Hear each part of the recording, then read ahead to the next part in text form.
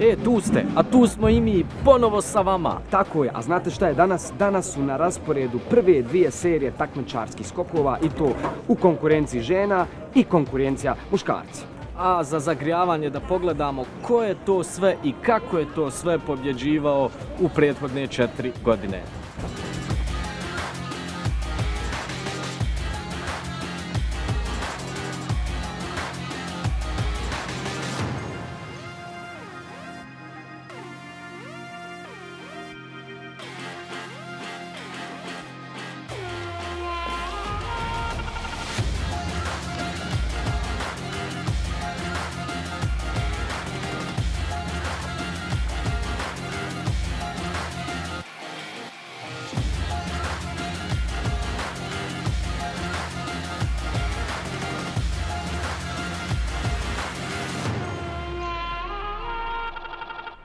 Startne pozicije se kao i svake godine određuju kroz neku zanimljivu igru. Ove godine takmičari su se spuštali niz zip line od Lučkog mosta ka platovu kod Starog mosta.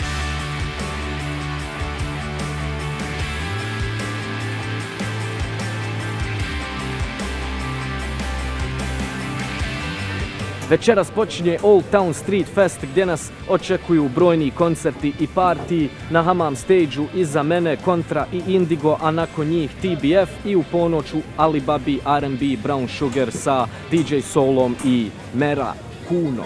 Vidimo se.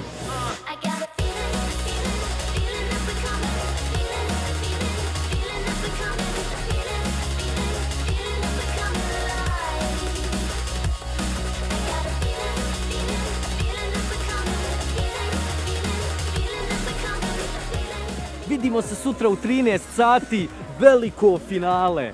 Još nam samo fali neko da vodi s nama program. Dečko, e, dečko, hodi sekundu, hodi sekundu.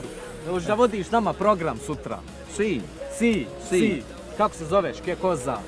Si. Kako ti kjame, kjame. A, Zoran Filičić, Zoka, Zoks, zvani Fik. E, Dobio si posao. Ajde, drago mi je. U koliko sati? Sutra 13 sati. 13 sati, veliko finale. Vidimo se. Mostar. Feeling that we're coming alive and again I open my eyes, open my eyes I see the sun in the sky, sun in the sky This is what I want